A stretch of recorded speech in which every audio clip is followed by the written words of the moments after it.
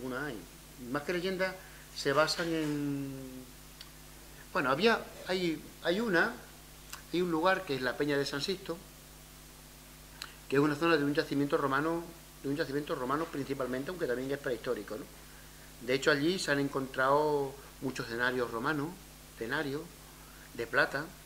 Hubo una época en que venía gente con detectores de metal y se llevaron muchísimo.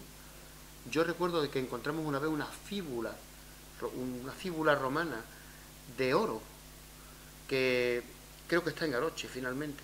Estaba partida, pero y aparecía algo, aparecía eh, el águila romana, alguna cosa así, ¿no? O sea, una cosa muy interesante. Bueno, pues ahí había la leyenda de que estaba San Sisto montar un caballo hecho una estatua en oro.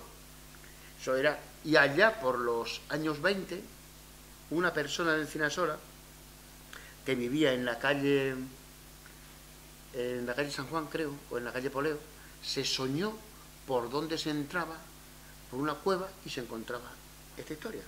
Y empezaron a hacer excavaciones. Usaron dinamita, que ahora te, contaré.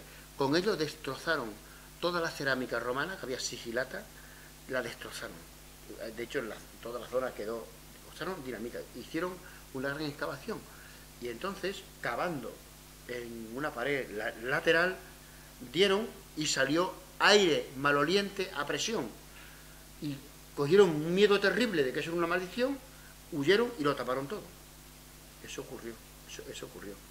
Ocurrió, por ejemplo, hace dos siglos, que un alcalde de Encinasola, cuando la contienda tenía un control muy, muy, muy estricto, pues yendo con el guarda, con uno de los guardas de la contienda hacia la contienda, encontró a un vecino que estaba subido en una encina cogiendo bellota, baleándolo. Le dijo que se bajara. El vecino no se bajó. Le dijo al guarda que le pegara un tiro. El guarda le dijo que, hombre, como le va un tiro? Que no. Dame la escopeta.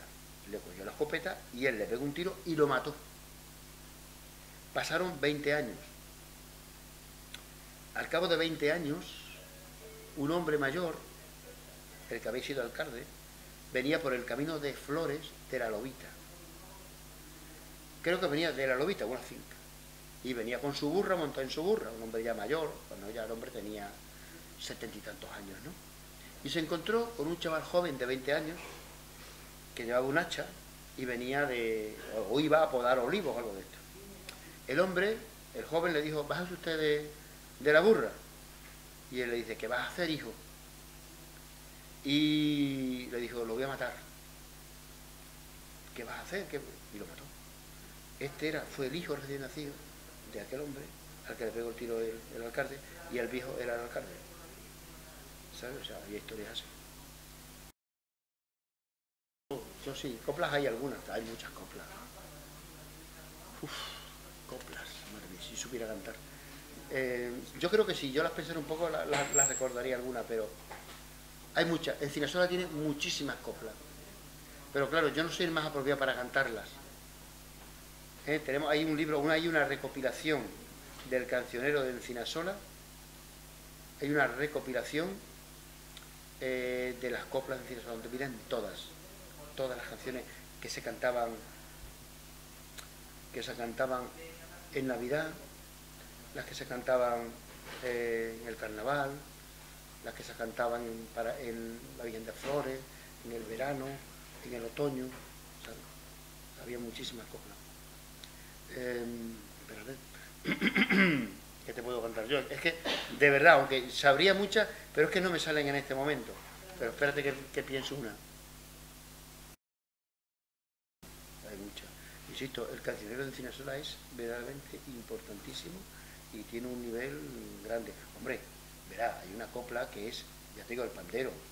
El pandero, el pandero se canta al son tocando el pandero y dice de la contienda he venido rodando como un melón, solo por ver tu carita, rosa de mi corazón. Bueno, más o menos, ¿no? Y hombre, está el fandango, ¿no? El fandango de Cinasola, eh, que se baila, que se baila, es un fandango bailado, que me voy a trabajar, como alguien lo escucha, va a ser terrorífico, pero bueno, eh, que dice, bueno, este no lo voy a cantar, que no me atrevo a cantarlo, dice, Yo sembré en una maceta la semilla del encanto, con, lágrimas la regué y la, y la flor salió llorando, tuvo la culpa del querer. Y sigue, ¿no? Con otras estrofas. Que te quise no lo niego, que te quiero no lo sé. Bueno, sigue algo más por ahí, bastante más. Son las dos principales así de, de Sola. Luego ya, ya te digo, hay un cancionero extensísimo em, que dice, por ejemplo, esta noche y mañana tenemos carne que ha matado tu padre la burra grande. ¿Cómo quieres, cómo, cómo quieres castillo que te levante? ¿Cómo quieres castillo que te levante si te encuentro caído por todas partes? Hace referencia a la torre de homenaje del castillo de Encinasola que está y el castillo de Encinasola que desapareció después de... Sí, sí, efectivamente.